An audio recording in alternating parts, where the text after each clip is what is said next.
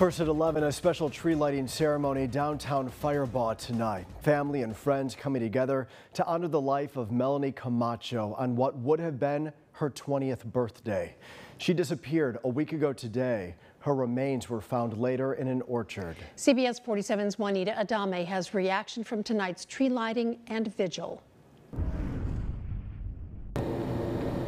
Well, this is the tree here in downtown Firebaugh that's been set up to honor Melanie Camacho. A small vigil has also been placed here at the foot of the tree to remember the 19-year-old aspiring teacher.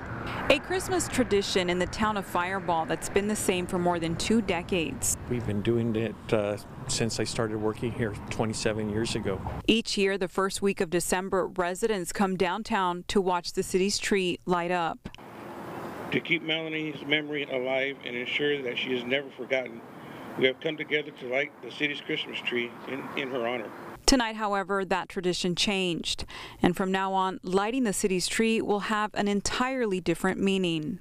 It's very heartwarming because it's, I mean, it's not something that you expect. I mean, especially with everything that we're we're going through and dealing with um, during this hard time. It was just one week ago that Melanie Camacho disappeared after leaving her job at AutoZone in Madera.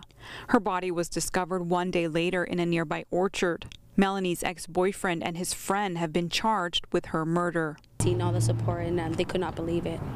Um, this something that has never you've not we've never seen here in Firebaugh. Maria Romero is related to Melanie and said the family is extremely thankful for the outpour of support. She loved music. Um, I will say um, one thing about her is she loved ki kids. Uh, she wanted, like you guys heard previously, she wanted to be a teacher. Tonight, Melanie was supposed to be celebrating her 20th birthday. But now family will instead have to prepare a funeral. It was an unexpected um, situation that happened. A realization that still has not set in. You know, we want to keep um, her name, you know, always out there for everyone to remember her, you know, who she was. Beautiful, young, um, you know, daughter that um, she was, you know, still had time, a lot of time, a lot of things that she wanted to do in life.